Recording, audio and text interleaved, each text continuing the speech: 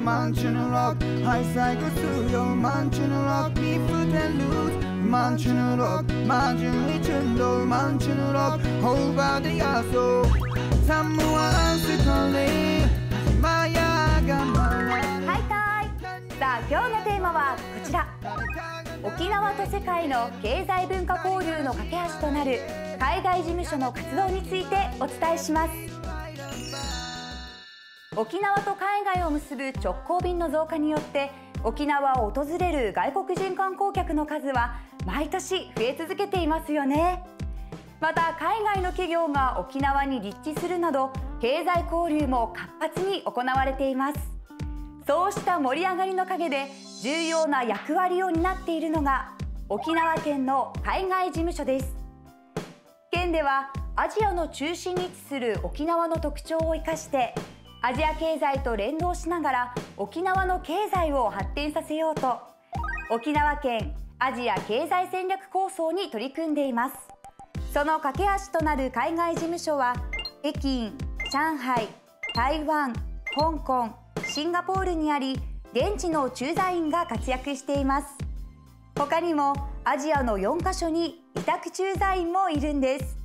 それぞれ現地では県産品の海外への販路拡大観光誘客の促進県内企業の海外展開支援などさまざまな業務を行っていますそこで今日はシンガポール事務所とテレビ電話がつながっています平賀さんはい、こんにちは、かなさん。よろしくお願いします。はいよろしくお願いします日本とシンガポールは確か1時間の時差だと思いますがそちらの気候はいかがですか？はい、ここシンガポールは赤道直下にある一年中常夏の国です。夏の気候も沖縄と似ていますよ。そうなんですねそしてそちらでは実際にどんな活動を行っていますか？はい、シンガポール事務所では ASEAN 地域において沖縄の魅力を肌で感じていただこうと現地で旅行博の出店や沖縄物産展を開催しております。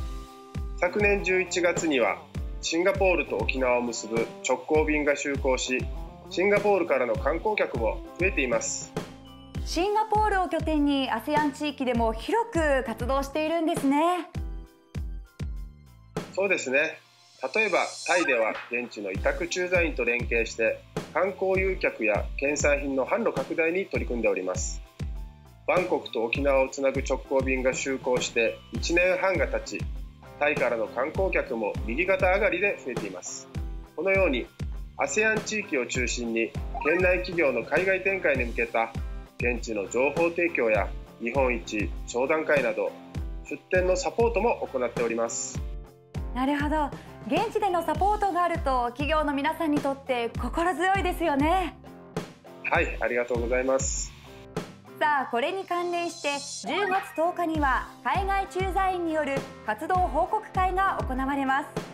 詳しくは沖縄県産業振興公社までお願いします。続いて県からのお知らせです。9月30日日曜日は沖縄県知事及び県議会議員補欠選挙の投票日です。選挙は県民の声が県政に生かされる最大の機会です。声を掛け合って投票に行きましょう。詳しくはご覧のところまで。県では沖縄県不動産鑑定士協会との共催で不動産に関する無料相談会を10月2日に開催します。詳しくはご覧のところまで。総務省沖縄行政評価事務所では1日合同行政相談所を開設し行政に関する相談を受け付けます。詳しくはご覧のところまで。その他のお知らせはご覧の通りです。以上県からのお知らせでした。視聴者プレゼントのお知らせです。今月はこちらの商品を抽選でプレゼントいたします。ふるってご応募ください。ルナンチ広場はインターネットでもご覧いただけます。ぜひここチェックしてくださいね。それでは来週もお会いしましょう。一平二平デビル。